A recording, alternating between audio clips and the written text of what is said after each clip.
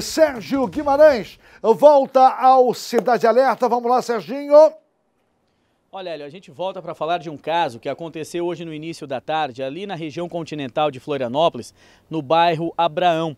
Um atentado contra um ônibus do transporte coletivo assustou os moradores, principalmente os passageiros, motoristas e o cobrador. Evidente, um carro passou e efetuou sete, deu sete tiros na direção do veículo. E também eles tentaram atear fogo o fogo destruiu ali a parte inicial do ônibus, algumas poltronas, algumas janelas chegaram a estourar, mas o ônibus só não incendiou completamente porque moradores de um prédio em frente pegaram a mangueira do sistema do Corpo de Bombeiros de incêndio e apagaram este fogo. Os homens fugiram e ninguém foi preso. Esse atentado foi bem na volta final, quando o ônibus estava fazendo a volta, este veículo Gol Prata, segundo as informações, passou e fez este atentado. Deu sete tiros em toda a extensão do ônibus e também colocou ateou fogo, jogaram um coquetel molotov no interior desse veículo e felizmente diante disso tudo ninguém ficou ferido. O consórcio Fênix, que administra o transporte coletivo, inclusive